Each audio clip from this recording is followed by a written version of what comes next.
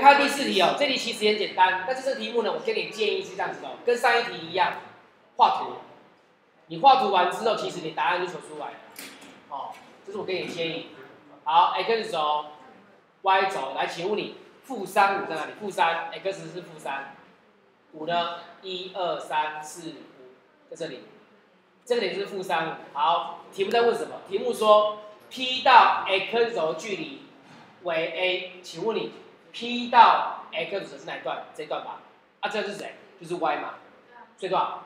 五。所以你的 a 应该多少？a 应该是五才对。听懂吗？然后呢，我到 y 轴距是 b，指的是这个地方 y 轴距离是多少？三吧。所以 b 多少？b 就等于三。讲完。